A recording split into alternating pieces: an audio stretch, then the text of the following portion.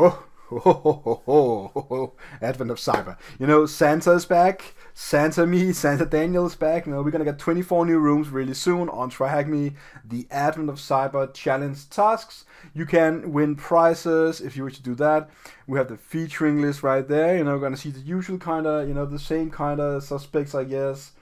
The same guys. You know, it's really fine. You know, they they pick the same amount of people that they usually do, and there's mix in a few news one here and there, you know, and it's really fine. Also, it's a beginner friendly gateway and basically means going to go through the topics.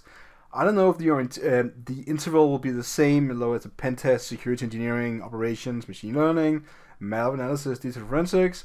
You know, maybe leave a comment below. Let me know what you think. If you know something, you know, what is the order. So I'm going to try and get the room pushed out as fast as I can to you guys whenever it is ready and record the video and prioritize to getting it out there for you so you have something fun and interactive to watch. And I'm gonna do it the same way. I usually do it just head first. Let's see what we get dive in and talk about it and not really worry about the length of the video but more like how can we learn the most from this. So looking forward to see you online. Leave a comment below. Let's have some great fun talk uh, on the rooms when I release them so have a really nice day. See you online and keep hacking.